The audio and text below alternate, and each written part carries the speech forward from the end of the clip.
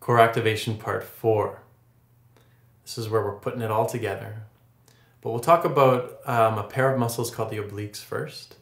There's two on either side, the external and the internal. Now, if you locate this muscle that goes right down the center, um, on some people you can feel, you can notice a six pack when they're contracting their muscles here. That's the rectus abdominis. We want to go outside of that.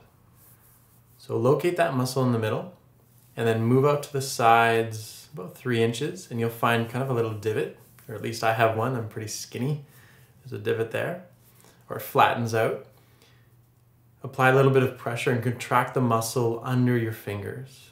Now you'll notice the muscle pulls into the body. It doesn't bulge forward.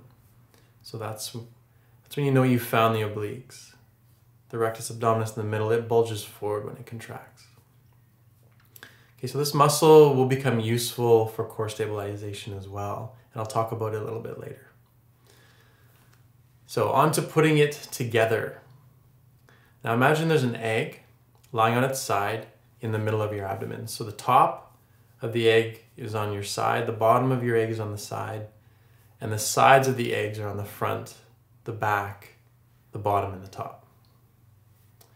Okay, so you're holding the bottom of the egg with your pelvic floor the sides, the front, and the back with your TA, your multifidus, and the obliques, which I just talked about. The top of the egg is held with the diaphragm when you breathe in. Okay, so obviously when you breathe in, maybe it's not so obvious, but when you breathe in, the diaphragm drops and it pushes pressure down onto the other muscles beneath it. So what we're going to do is hold the muscles on and take a breath in and try your best to hold the muscles on while you're breathing in completely. Okay, so pull the pelvic floor up. And you can find those muscles again if you want. Find the TA, engage it. Engage the multifidus from the back. And then a light engagement of the obliques. So just like I said in the last parts, we want these to be on about 50%.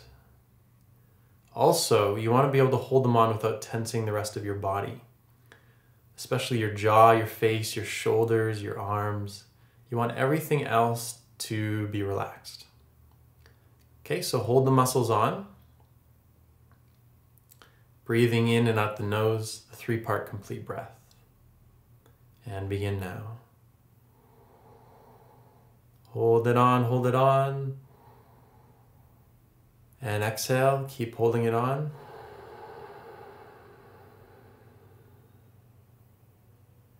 Hold it on, breathing in. So the idea is to apply pressure so that you're holding the egg still, but not so much that you're going to break the egg. And exhale.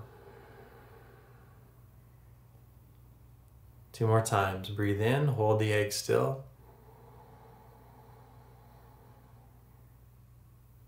Exhale. One last time.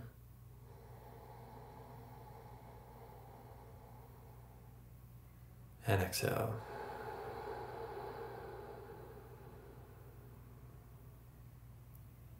Okay, release the muscles.